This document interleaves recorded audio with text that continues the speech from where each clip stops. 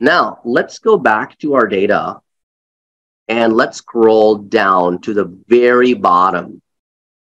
And let me add another uh, row, 214, peach, oh, P-A-C-H, P, peach, uh, fruit, 4,500, 12, 16, 2016, and let's say Mexico.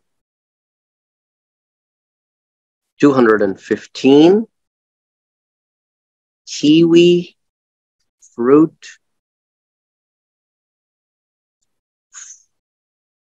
Fifty-six thousand, twelve thirty, two thousand sixteen, and let's give that to New Zealand. Okay, so I've added a couple of extra rows.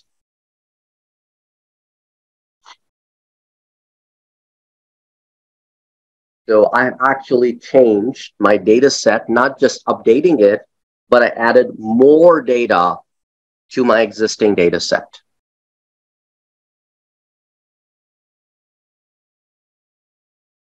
Yeah, yeah, yeah, you can make as many changes as you want and just refresh once. Absolutely. you don't have to refresh for every change. Um,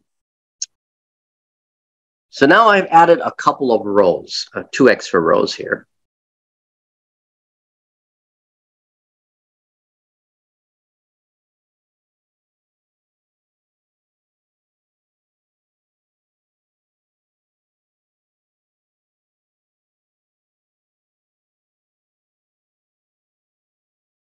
Okay, now let's come back to sheet one where I have my pivot table.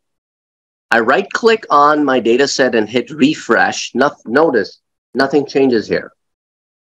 Because kiwi and peach are not one of the existing categories, neither they were part of my actual selection. So now comes the question, do I have to recreate the pivot table? No. You do not need to recreate the pivot table. You just need to tell the pivot table that I have more rows for you to consider. And how can you do that? Well, this is how you can do it.